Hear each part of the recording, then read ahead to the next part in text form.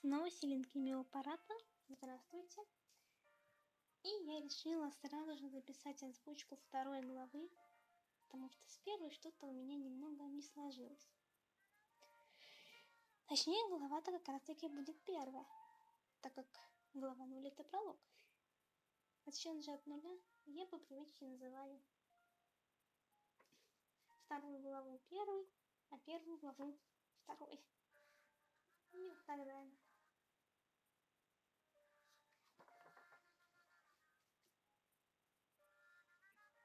Я так понимаю, что записывать мне придется все равно по себе, и книжка мне особо не понадобится. Так что получится, что видео будет даже немного отличаться от статей, потому что я не могу просто читать книги, у меня не получается вовремя все читать. Поэтому я буду просто смотреть картинки и переводить сразу же с лета. Может быть, где-нибудь подгляну, поэтому иногда буду замолкать. Так что пойдем дальше.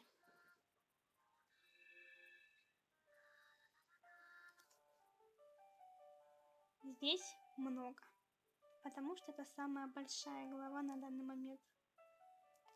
На целых 8 секций дополнений, где, кстати, тоже 8 кусочков. Помню, что когда делала статью, у меня даже не влезло едва не два. Прямо тютя в тютю у меня получилось. Так что... Надеюсь, уж точно будет побольше, чем в прологе.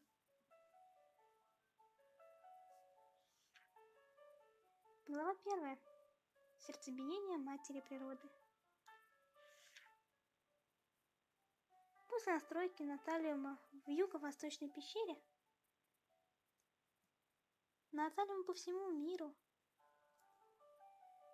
пробудились в резонансе, и их запас энергии постепенно увеличивался в силе.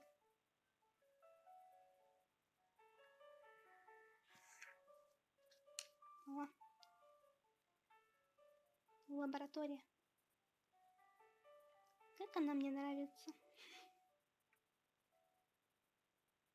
Благодаря усердной работе физика смогла настроить настройщик Наталиума таким образом, чтобы он мог обнаруживать близлежащие ресурсы Наталиума, задавая направление для их миссии.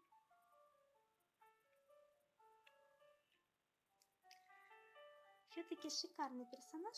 Я буду вставлять свои комментарии, потому что я просто не удержусь. И даже опять видно везде ее знаки.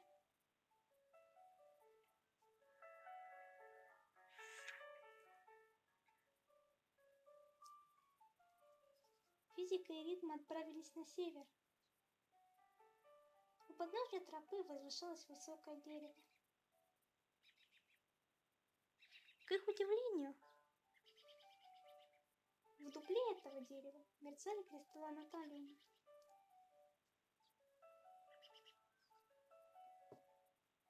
Вид взволнованно начал свою работу по настройке.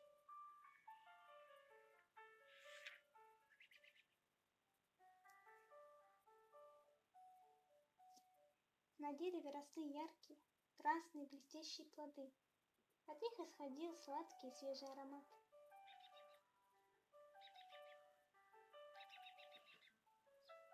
Физика задумчиво оглянулась. Отец покупал их для меня на рынке. Это же яблоки. Откусила большой кусок. Сладости и ароматы столкнулись с ее воспоминаниями о прошлом. Она встала на цыпочки, чтобы сорвать яблоко. Возможно, горная тропа, ведущая сюда, была перекрыта альминтом, из-за чего яблоки исчезли из нашей жизни.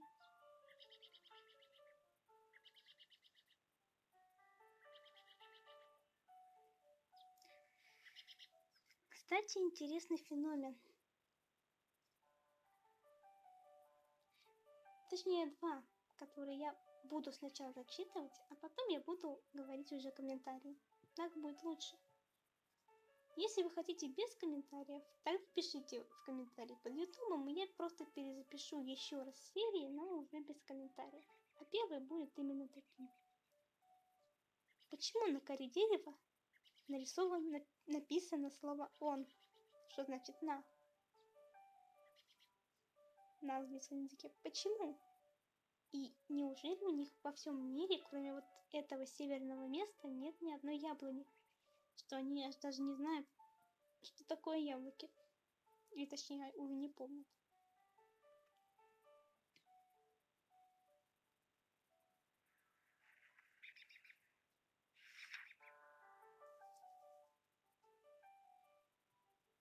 Ритма чувствовал барабанную дробь матери природы.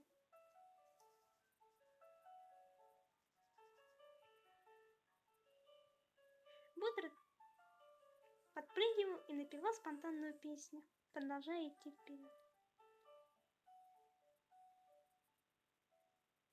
Физика, не говоря ни слова, последовала за ним, вглядываясь в черно-белый пейзаж перед ней. Внезапно в поле зрения появилось море бесцветных цветов.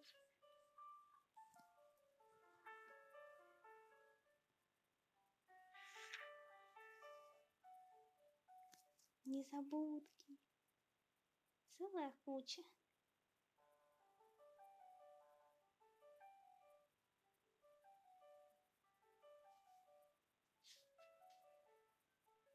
Только Ритма завершил свою искусственную настройку, начало моросить.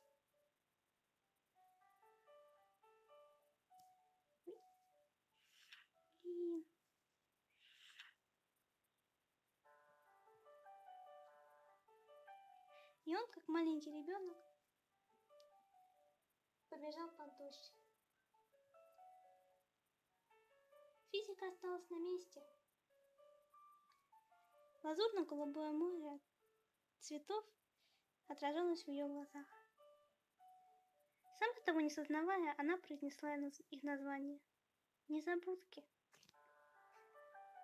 Даже легче будет не подсматривать под книжку, а читать так. Я уже три раза переводила, поэтому должно что-то оставаться.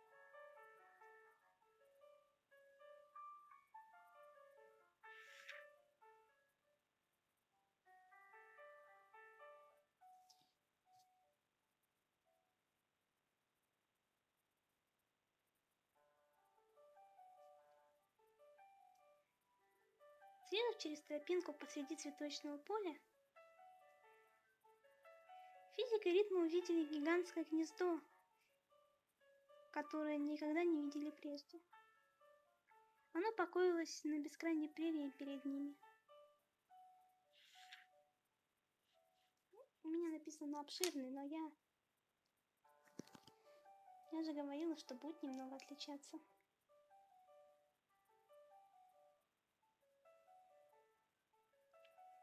Физика подняла яйцо, совершенно не похожее на остальные яйца в гнезде, и внимательно его осмотрела.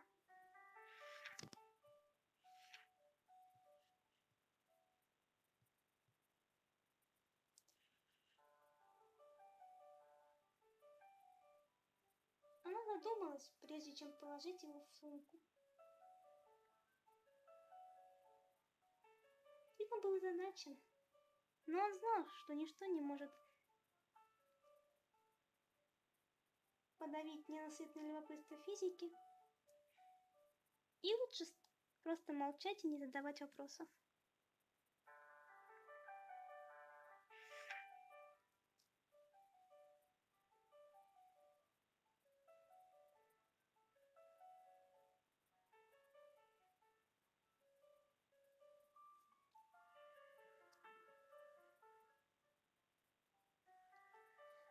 Продолжали идти по, по небольшой тропинке, пока не достигли следующего участка с Наталиумом.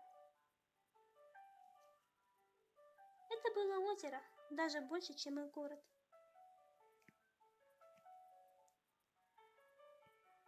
Казалось, что черное, как смоль озеро, было большим входом в бездонную пропасть, посылающую дрожь страха по позвоночнику.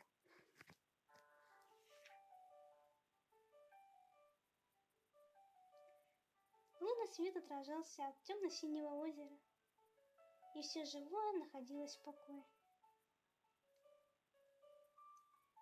Очарованный тусклым светом ночи, Ритма не мог ни, на... не напевать, играя медленный ноктюрн. Физика сидела рядом и тихо слушала, позволяя мелодии смыть дневную усталость. С этого кадра я тоже уплываю куда-то далеко.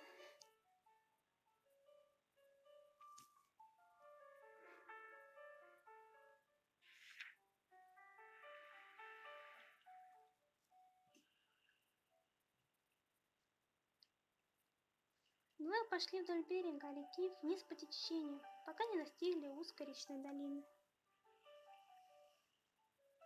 Они были плотно окружены горами с малым количеством света, из-за чего было довольно тяжело дышать.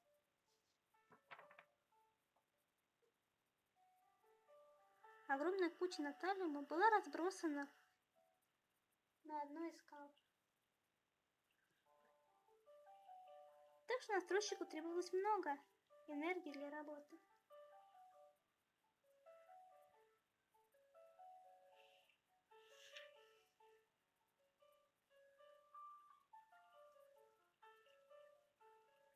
Приложив огромные усилия, Питман наконец смог закончить настройку в долине.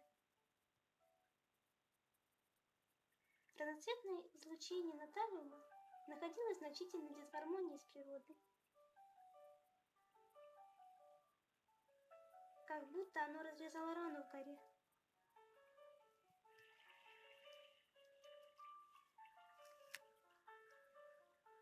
Изика все так же сидит со своим лицом, хотя она могла положить его в сумку.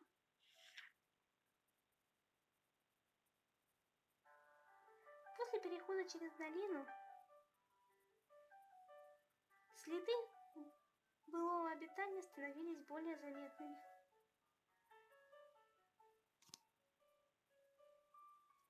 Физики Ритм наткнулись на заброшенную фабрику. Пол был завален инструментами и множеством черных дисков. Физика не удержалась и спросила, для чего нужны эти диски?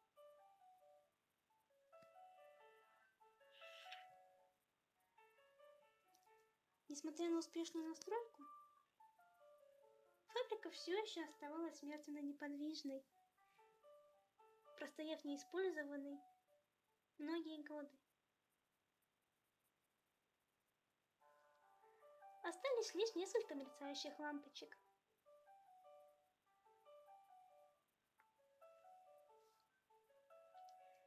Витма осмотрел все помещение, пока его взгляд не упал на диск, завернутый в конверт.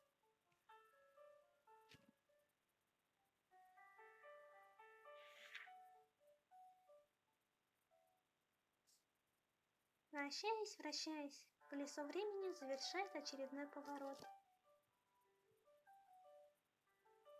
Пронизанный прекрасными воспоминаниями о тебе, по которым я тоскую. Я только молюсь, чтобы мой голос разнесся по всей земле и морю, чтобы достиг конца времени и вернул тебя ко мне.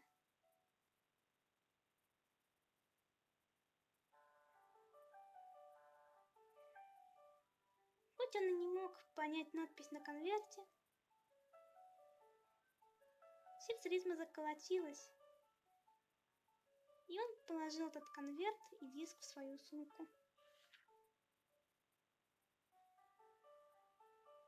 С вершины горы они могли видеть черно-белый город, расположенный неподалеку. Настройщик Наталиума определил его как следующее скопление Наталиума.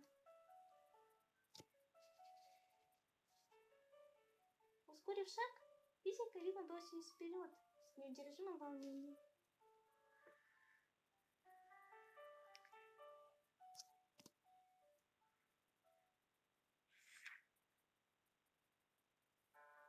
Следуя по тропинке, которая становилась все шире, они в конце концов добрались до центра города. Архитектурный стиль был для них совершенно новым.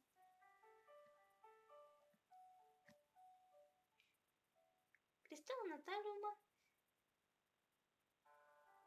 Наталиума были расположены в центре фонтана. В центральном фонтане, да? Наверное, в центральном все-таки.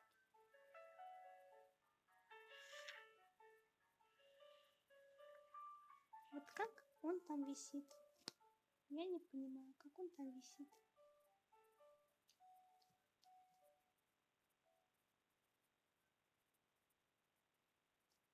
После того, как постройка была завершена, ранее неподвижный город стал изменяться. Воздух начал медленно течь.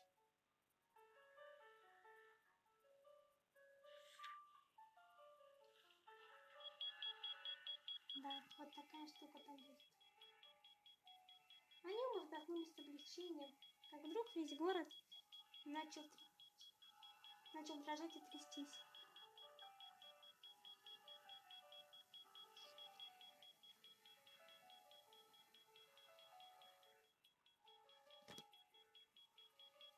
Колокольня в задней части здания зазвонила, и настройщик Наталья издал пронзительный сигнал тревоги. Энергия очень сильная. Она исходит с колокольни. Побежали.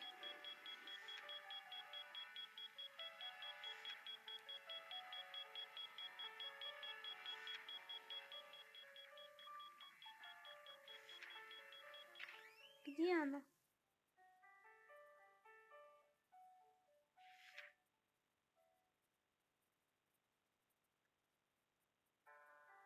Все раскидано, все повалено. Откуда здесь стол?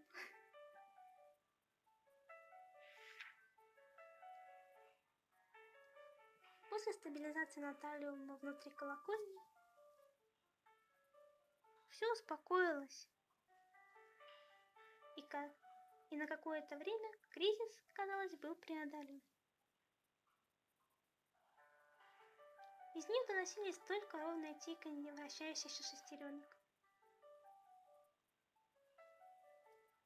Ритма сел на пол, чтобы отдохнуть и оправиться от стресса. Тем временем внимание физики привел очень толстый документ.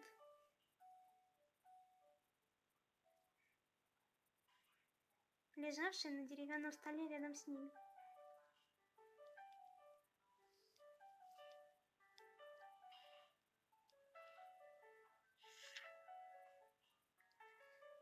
Заполнен неизвестными буквами, но на последней странице стояла знакомая печать.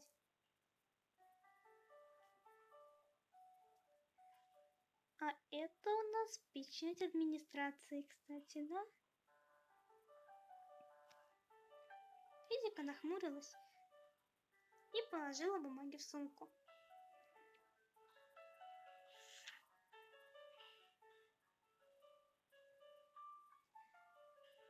Покинув колокольню, они заметили, что окружающая их местность и даже отдаленный пейзаж вновь обрели свой цвет. Похоже, настройка города была завершена. Согласно настройщику, следующий источник неупорядоченного наталиума находится довольно далеко отсюда. «Давай сначала отдохнем», — предложила физика.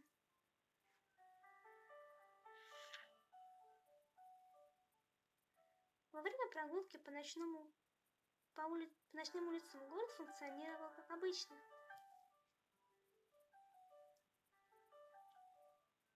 Но вокруг ней не было ни души. Физика и Ритма чувствовали себя странно. Измученными путешествиями, они внезапно ощутили усталость, и у них не оставалось выбора другого выбора, кроме как найти место для ночлега.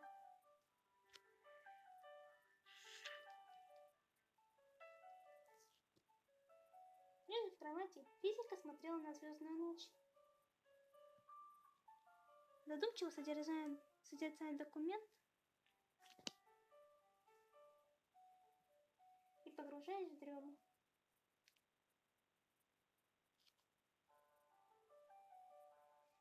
Не желая засыпать, Битма держал свою дорогую лютню, тихо напевая веселую мелодию. Думая о том, как после восхода солнца их путешествие продолжится.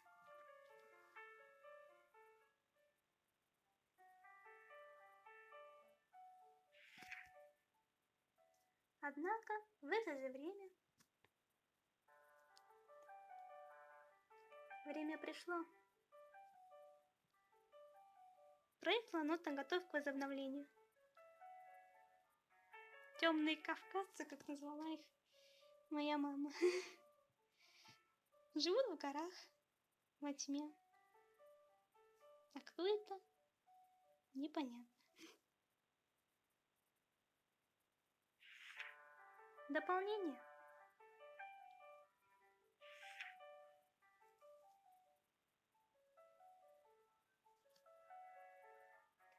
Вырвавшись из оков Альминта, все существа вновь вернулись к жизни. В великом торжестве радостные звуки разнеслись по всему лесу. Белочки.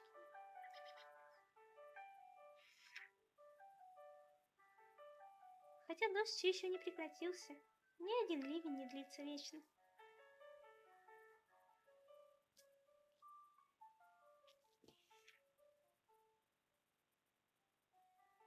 Тишине ночи нерожденная жизнь изо всех сил боролась за свое существование.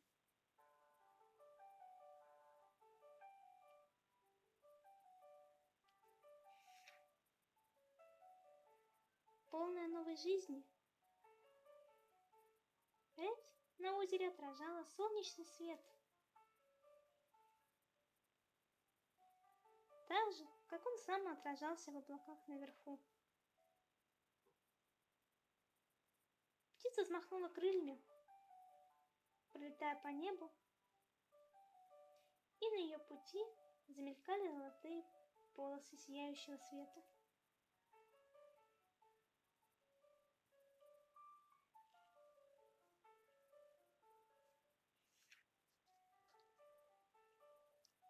Растительность в этом районе постепенно возвращалась к жизни здоровая и сильная. Но сколько еще потребуется времени, чтобы полностью удобрить эти земли и залечить глубокий шрам? Радуга.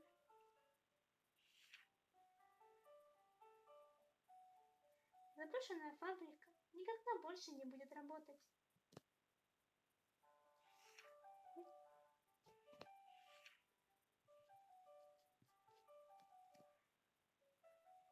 Хотя мысль о том, что она запустится, была прекрасной фантазией, которой трудно было сопротивляться.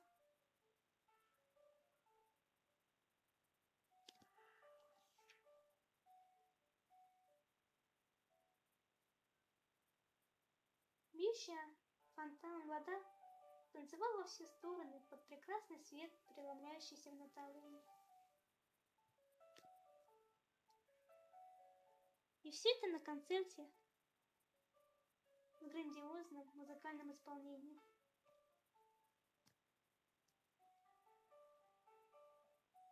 Сколько путешественников остановилось на своем пути, чтобы показать себя при виде этого?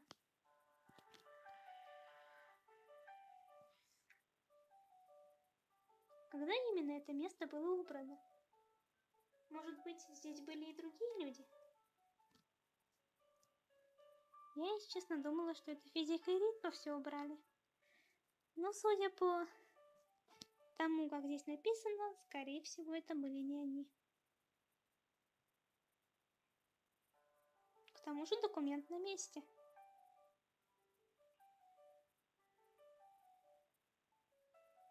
Интересно, да?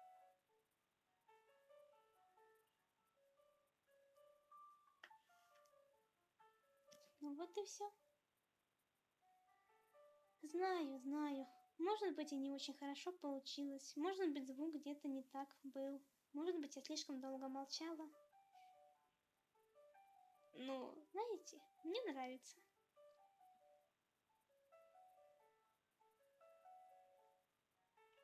Если что, просто можете читать статьи в Амин, например, или еще где-нибудь.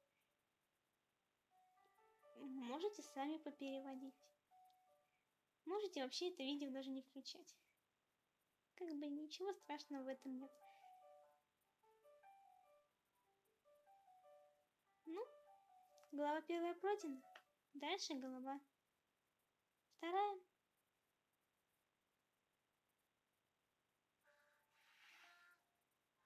Ну а я прощаюсь. До свидания.